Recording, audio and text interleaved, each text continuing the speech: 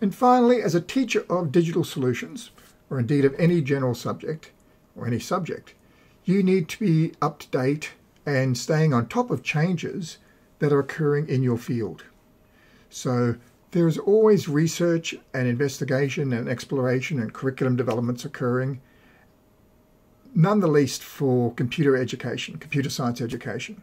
It's a dynamic, growing field and constantly being explored in terms of ways it can be taught better and how curriculum changes can be incorporated into the teaching of digital solutions. AI, for example, is having a significant impact at the moment. So, as a responsible professional educator, you should be keeping up to date with the research that is occurring in the field and in changes to curriculum, both in Australia but also internationally.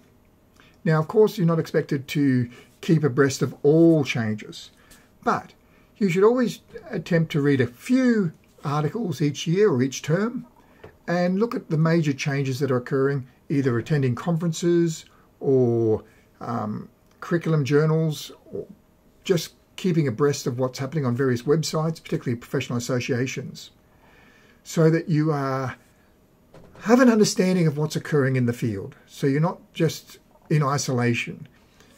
What you learn in this course, as good as it may be, will not prepare you for your entire career as the whole discipline may change over that career. So you do have to take some responsibility for keeping up to date with research and engaging with that. And to assist you with that, in the tutorial we're going to work through three items. Um, one is a brief commentary on the state of computer education.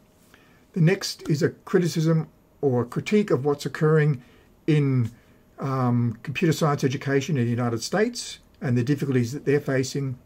And finally, a look at an updated um, computer curriculum where it's exploring what might occur with future, future curriculum directions.